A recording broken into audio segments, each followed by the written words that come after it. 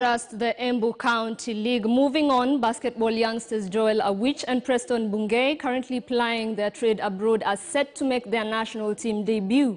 After earning a call-up, the 17-man Moran squad is expected to represent the country in the first and second leg of the Afro basketball qualifiers in Rwanda, where Kenya is making a return after 27 years of absence. Let's listen.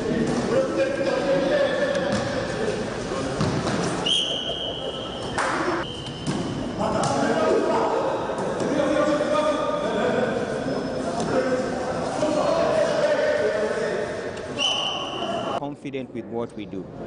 And once we go out there to compete with these highly ranked teams, we know what we're supposed to do. Everybody know their job because we've worked on it in the preparation phase. If we put our house in order, the boys are getting camp by Wednesday next week, and uh, we have the necessary resources with us. We, we stand we uh, stand a chance of qualifying. We stand a chance of qualifying.